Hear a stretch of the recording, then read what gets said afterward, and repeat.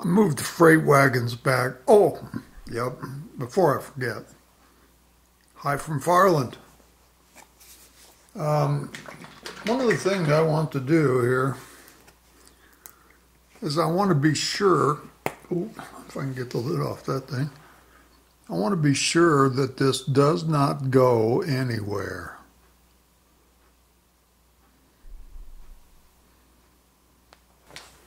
With my thin glue, I think I'll wet it down too.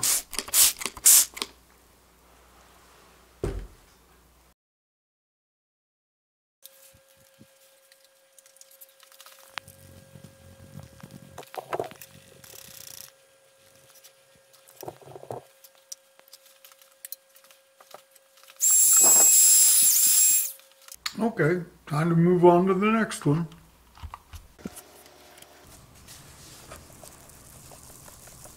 Everybody's seeing static grass go down.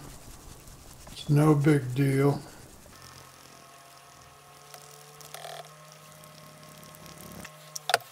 What people don't show you very often is how to stretch your static grass. After you've laid it, you can sort of see through it. Well, a way to cover it, cover the holes, and uh, save money on your static grass, just go back over it with some fine, fine scatter. I'm using fine turf. Then when you're done, come back and vacuum up whatever of it has not settled down into the glue and is loose and it looks like it's solid static grass, but it's it's thin static grass with uh, with scatter dropped in it. I actually do that a lot. But uh, static grass is pretty expensive, and I like to save my money as much as I can and still get a good result.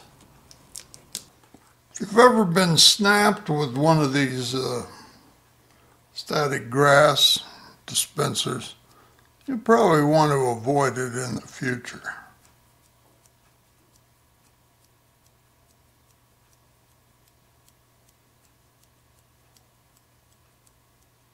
Anyway, I was zapped by it recently and I didn't like it.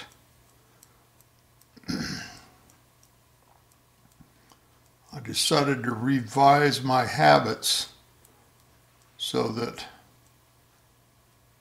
it doesn't happen again.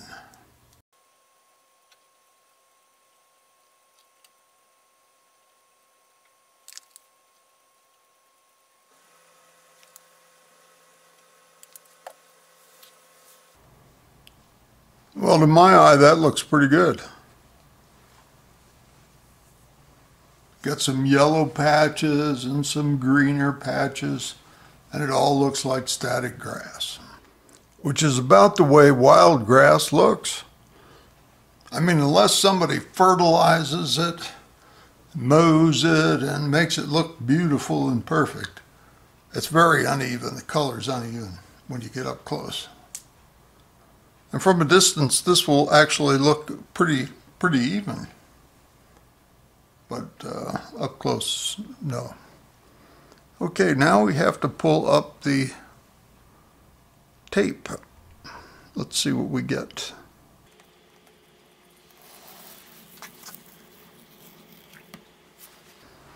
You could save this as a little grass pods if you wanted to.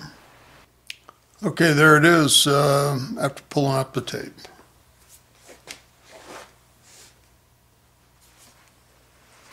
I want to put some uh, some dirt down.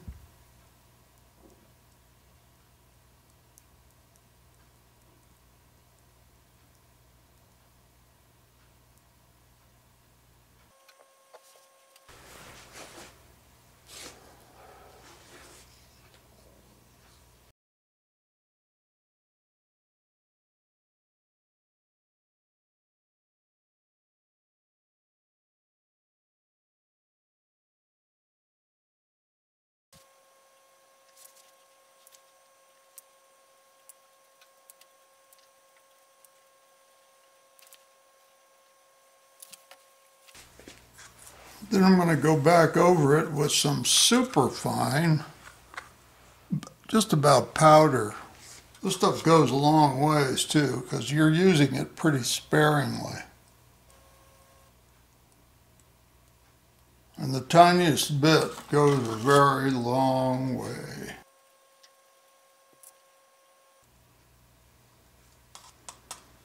Okay, well, we'll let it dry.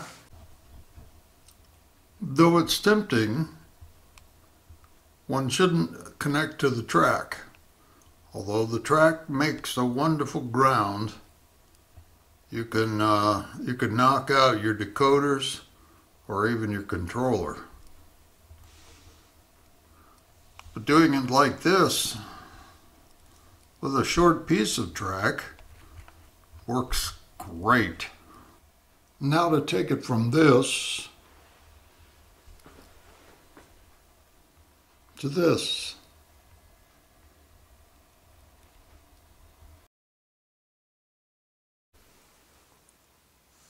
So it's kind of a magic transformation, really. When you take the fine powder and then brush it along, a little of it kicks out on the sides. And it just it just makes it look a whole lot better. Makes it look more like a car track or a truck track. For scale, just for the heck of it, let's find a vehicle and put it out there.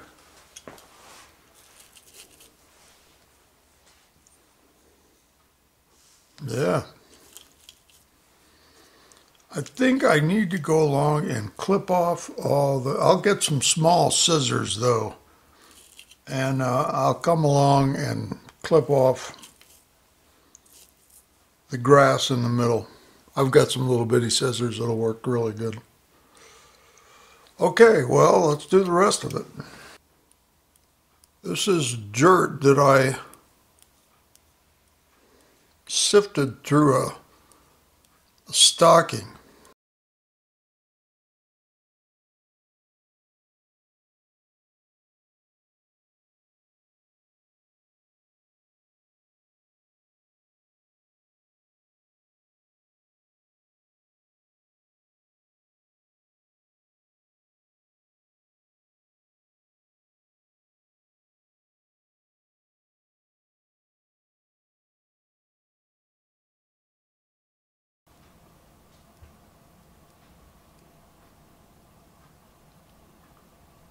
There it is.